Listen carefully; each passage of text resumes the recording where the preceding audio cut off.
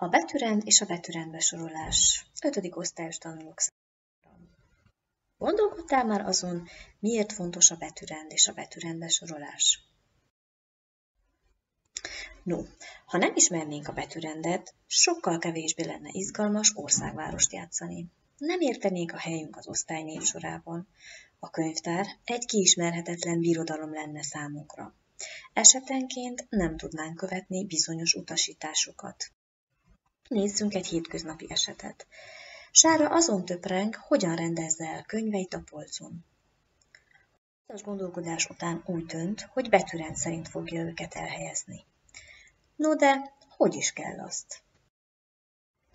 A magyar helyesírás szabályai 12. kiadása szerint előbb a magyar ABC-vel kell megismerkednie, illetve az idegen betűkkel kiegészített változatával. Itt láthatjátok az utóbbit.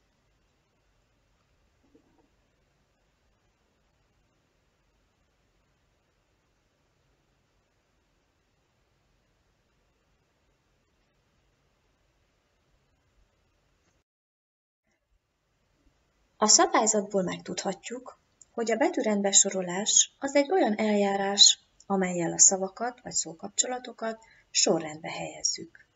Lássunk hát munkához! Te hogyan állítanád betűrendi sorrendbe ezeket a könyveket? A helyesírási szabályzat szerint a különböző betűvel kezdődő szavakat az első betűk ABC-beli helye szerint állítjuk sorrendbe. Ezért a helyes sorrend Ábel a rengetegben, május 35, Süsű a sárkány, végül pedig szegény Johnny és Árnika. Fejtörést Sárának, hogy mindkét könyv ugyanolyan betűvel kezdődik. Mi legyen hát?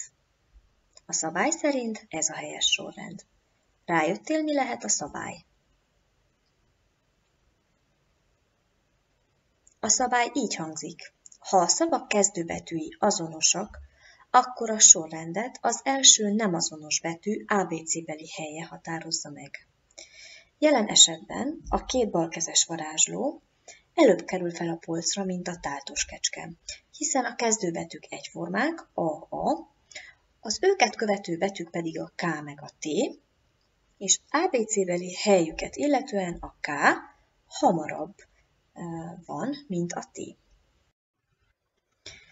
Azt hihetnénk, ugyanolyan helyzettel állunk szemben, mint az előbb. Ám mégsem. Láthatjuk, a kezdőbetűk azonosak. Ám az őket követő T betűk egyike nagy, másik pedig kicsi. Vajon számít-e ez a betűrendben soroláskor? Nézzük a helyes sorrendet. Mi tehát a szabály? Nem teszünk különbséget kis és nagy betűk között. Ezek szerint kezdőbetű is egyforma, az őt követő T betű is egyforma, a harmadik betűt kell néznem, ami a jelen esetben az A meg az I. Ezért a táltos kecske az első őt követi, a Tisza című könyv a polcon.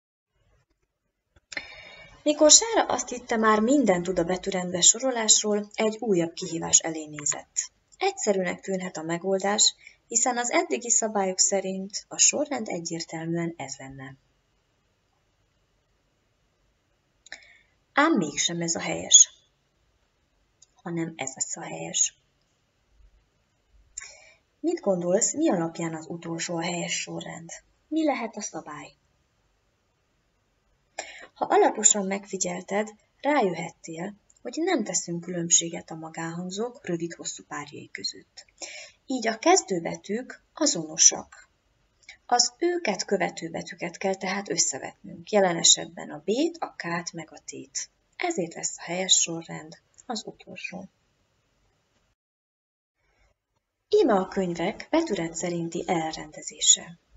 Ábel a rengetegben, két balkezes varázsló, táltos kecske, a Tisza, május 35, micsoda társaság, Rumini, Süsű a sárkány, szegény Johnny és Árnika, Végül vajon nagy is az aranyások.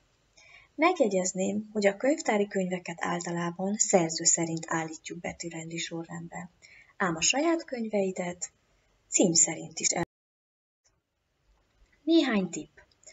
Állítsátok betűrendi sorrendbe szerző vagy cím szerint a kedvenc könyveiteket, illetve készítsetek osztálynévsort keresztneveitek vagy humoros beceneveitek alapján. Jó szórakozást!